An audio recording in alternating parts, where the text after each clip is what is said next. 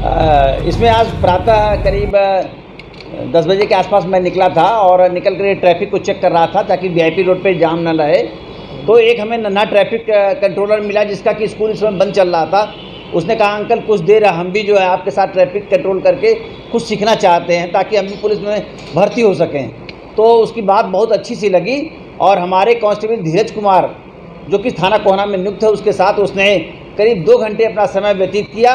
और उसके बाद जो है, उसने कहा, अंकल कि बहुत अच्छा लगा मुझे आपके साथ इस काम को करने को, और मैं एक प्रेरणा देना चाहता हूँ ताकि शहर के लोग भी इस ट्रैफ़िक कंट्रोल के आरक्षी आरक्षी का सहयोग करें और ट्रैफ़िक के नियमों का पालन करें।